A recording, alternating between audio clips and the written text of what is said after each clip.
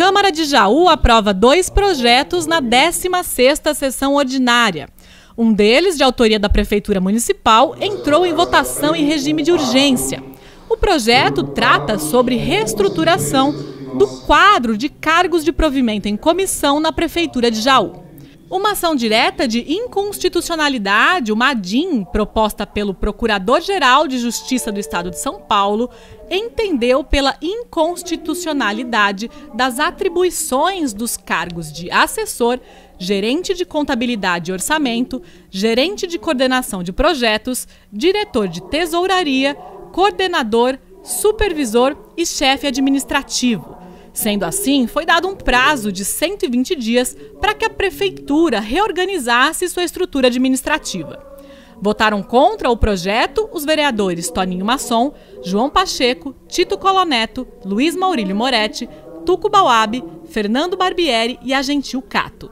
A Câmara ainda aprovou o texto da Prefeitura que autoriza a instalação de parklet em Jaú, de acordo com a justificativa do projeto, nos grandes centros urbanos, os parklets ajudam a recuperar o espaço público para o uso coletivo e tornam ruas e bairros mais humanos e amigáveis. É uma geração de espaço para pessoas e não para carros, servindo como exemplo de inovação no direito urbanístico. Votaram contra os vereadores Tito Coloneto, Luiz Maurílio Moretti e João Pacheco um documento passa a tramitar pelas comissões permanentes.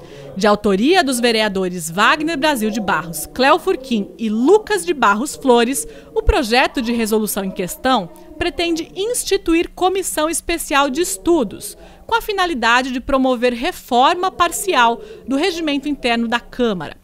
O objetivo é a implantação de mecanismos que maximizem a eficácia do princípio da publicidade, mediante a utilização de recursos de tecnologia da informação no âmbito da Câmara Municipal.